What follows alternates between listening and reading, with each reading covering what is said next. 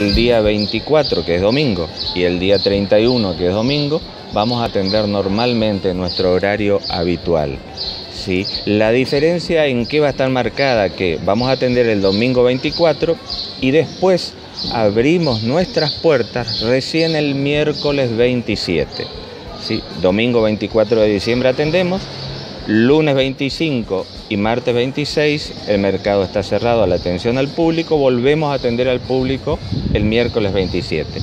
Y el domingo 31 de diciembre otra vez atendemos en nuestro horario habitual, más allá de seguir con la atención este, de, siempre.